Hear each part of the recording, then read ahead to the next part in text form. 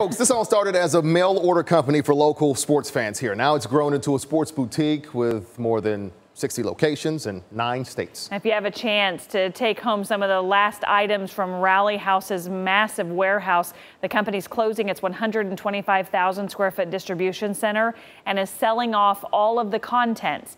The owner says there's something for your home or business. We have desks uh, that people are taking home. We have racking for garages.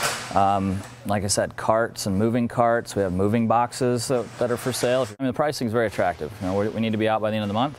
Um, we've got an auction uh, preview on Monday. I think it finishes up on Tuesday, and uh, we need to be out. The auction is now until Tuesday. To take a look at what's being sold off, head to kshb.com and search our web links section.